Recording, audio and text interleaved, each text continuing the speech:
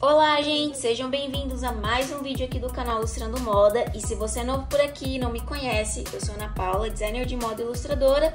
E aqui no canal eu trago dicas e tutoriais relacionados ao desenho de moda. E nesse vídeo eu vou mostrar para vocês uma compra que eu fiz que são lápis de cor Super Soft da Faber-Castell. Eu comprei esse de 50 cores e aqui eu vou mostrar para vocês a qualidade deles e o que eu achei. Então, bora lá!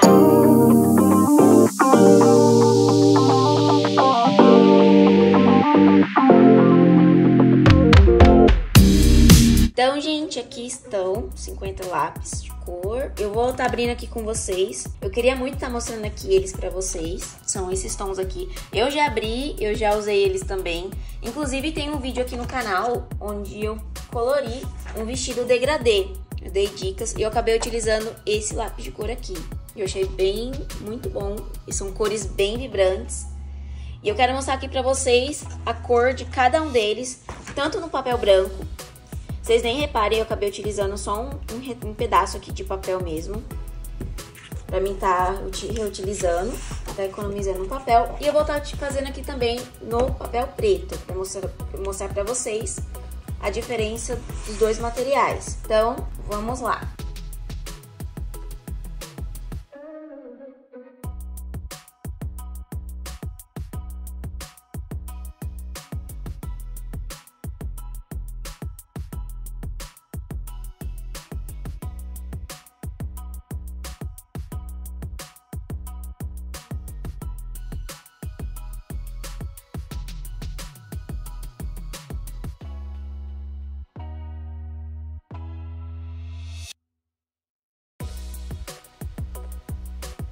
Gente, uma coisa que eu quero falar com vocês.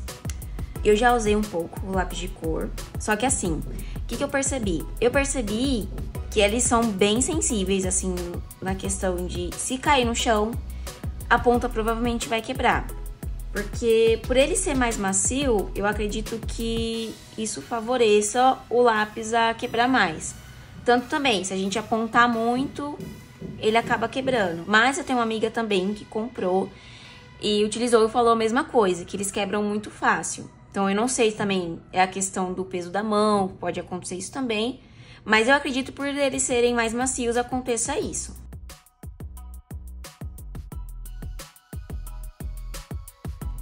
Gente, esse tom aqui de marrom bem escuro, o 745, ó como que ele, ele parece muito com preto. Vocês conseguem ver? Como é bem parecido. Esse tom com preto. É pouquíssima diferença, gente.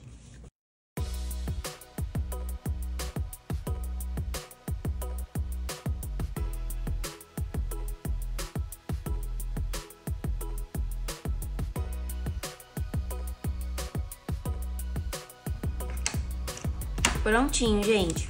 Aqui tá o papel branco, as cores, tá vendo? Eu vou fazer seguir essa mesma ordem no papel preto para vocês verem a diferença, né? Porque sim, esse lápis da Super Soft aqui da Faber-Castell, esse lápis de cor, ele pode ser pintado no papel preto.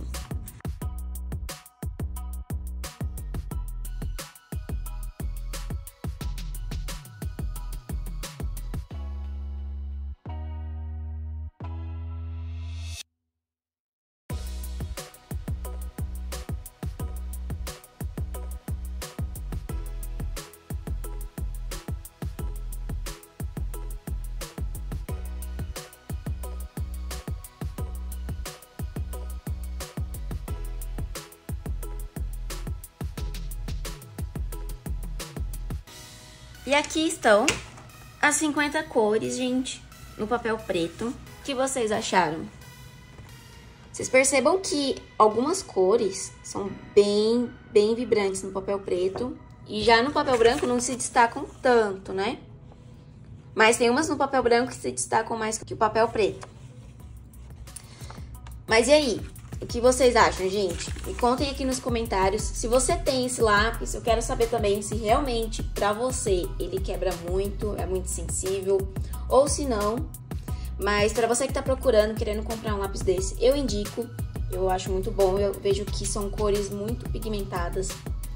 É um pouco é um pouco diferente desse da Ecolapse da Faber-Castell normal. Vou pegar até um lápis vermelho aqui. Para eu estar tá pintando para vocês verem mais de perto a diferença. Esse aqui é da Super Soft. Percebam que preenche muito bem o papel. Fica bem preenchido a cor, né? Ó.